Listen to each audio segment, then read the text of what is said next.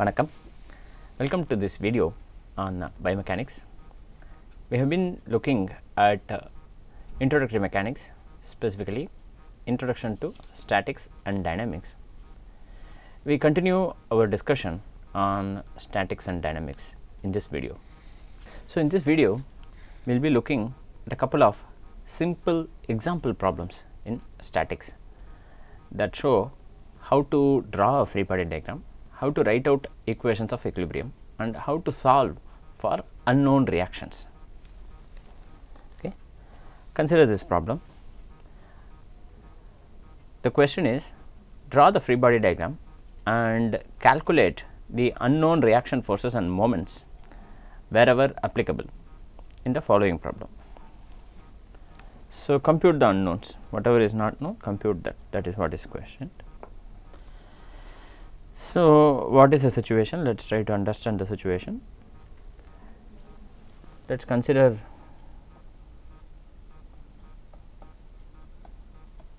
that x y axis. In the negative y axis there is 5 Newton force that is acting.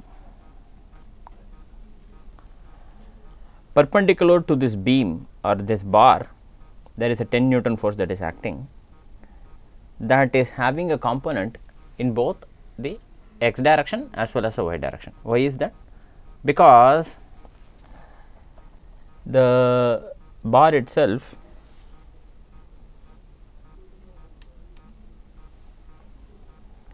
because the bar is inclined at an angle of 30 degrees to the horizontal because of this reason or it is 60 degrees from the vertical. Because of this reason the 10 Newton force that is applied on this bar will have two components one in the x axis and one along the y axis. Okay. Now, it turns out that this bar can rotate about this point. Oh, this bar can rotate about this point. Oh. This is not given to you already, it is not mentioned to you in the problem, but from the way this diagram is drawn, we presume that the bar can rotate about O or here I am telling you that this bar can rotate about this axis. That means this bar will have how many degrees of freedom? It will have only 2 degrees of freedom that is it cannot move in the x direction or in the y direction. It cannot translate in the x direction or y direction. So, the corresponding so the corresponding reaction components will be there. So, let us try to draw the free body diagram of this. So, I am going to erase this and draw the free body diagram on this figure. Okay. So, how will it look like? So, there will be an R x, but actually when you are drawing you will have to remove this uh, from the from the contact is it not? Okay, let us draw a free bar. Draw free bar.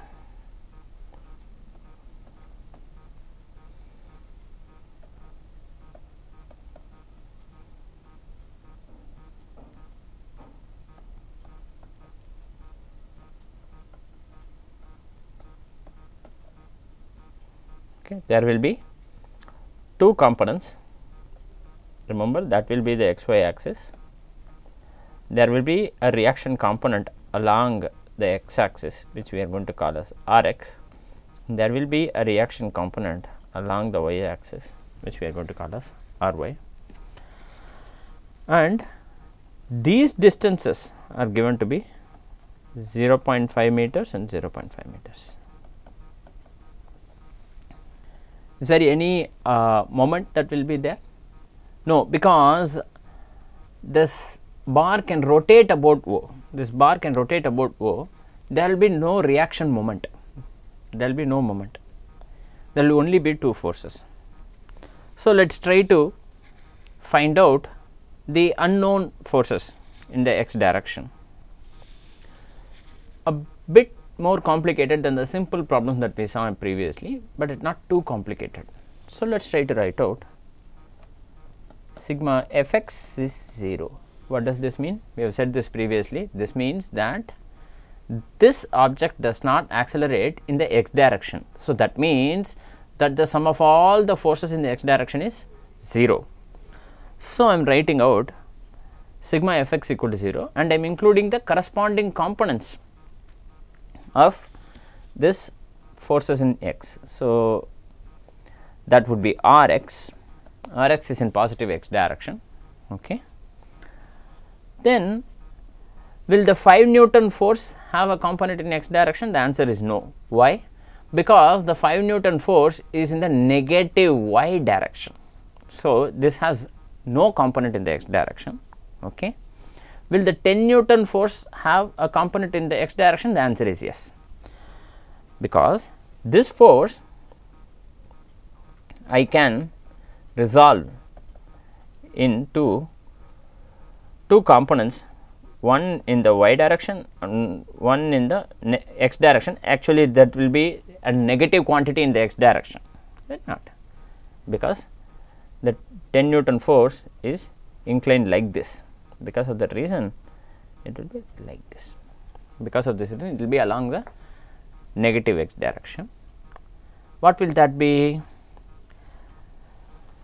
What will the y component be the y component will be the vertical component is it not? That will be 10 times sine 60 the x component will be likewise 10 times cos 60 I am resolving these two force this force into two components and I am writing this. I am resolving this force into two components and writing the values of the x and y components and I am including the x component in our discussion that will be minus 10 cos 60. Why is it minus? Because remember because the 10 Newton force is applied like this and not like this that is a difference. If it is applied and in this way the x component will be like this okay the x component will be positive because it is inclined in this way as shown on the screen it will be along the negative x direction because of that reason it will be negative minus 10 cos 60. Is there any other uh, component along the x direction?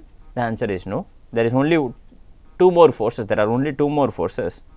One is r y, the other is phi, but they both are in y direction. This is 0. From this I can say R x is 10 cos 60 that would be you know, 5 newtons is it not because we know from high school trigonometry cos 60 is half 1 by 2. Now, I can write similarly the equation of static equilibrium in the y direction that is sigma f y equal to 0. What does this mean? This means because this object or this bar is not translating along the y direction, the sum of all the forces in the y direction is 0 or rather because this object is not accelerating in the y direction, the sum of all the forces is 0 because it can translate with constant velocity something to remember sigma f y equal to 0 upward is considered positive. I can write out as r y because r y is in the positive y direction as shown minus 5 5 newtons is in the negative y direction. So, I am simply writing minus 5 that is it. Can we write equal to 0 the answer is no because there is 10 sine 60 in the positive y direction that would be plus plus 10 sine 60 is 0. So, that means I can write out r y is then 5 minus 10 sine 60. It looks like this is not a positive number we can use a scientific calculator and check and you will find that this is actually minus 3.66 Newton. what does it mean that a force is minus 3.66 Newton? It means that the sense of the force that I have assumed is not correct. I have assumed R y to be vertically going up. If the answer is showing that the value of R y is negative, that means the assumed direction of R y is wrong. The magnitude of that force is 3.66 Newton, but it is in the opposite direction. It is 3.66 newtons in the negative y direction or it is minus 3.66 newton in the positive y direction. So, from your computation it is not necessary that a reaction force always is positive depending on the convention that you have taken a given reaction force may or may not be positive. If it is negative that means that the assumed direction for the force is not correct. The actual direction is exactly the opposite with that magnitude of force something to remember. Also you do not have to solve for all the equations of static equilibrium because we know this is a planar problem it is a 2D problem. We also know that there is this sigma m is equal to 0 right. So, you do not have to solve for sigma m is equal to 0 because the number of unknowns in this case is only 2 there are only 2 unknowns. R x and r y are the only 2 unknowns. And you can solve this by using 2 equations of equilibrium you do not have to have 3 equations of equilibrium to solve 2 unknowns you need at least as many equations as the number of unknowns. There are 2 unknowns and you have 2 equations even if they are simultaneous you can simultaneously solve them and fix them. In this case they not be simultaneous because x and y are always orthogonal and it will be simple. So, you do not always have to do the 3 equations of static equilibrium sometimes this may not be required.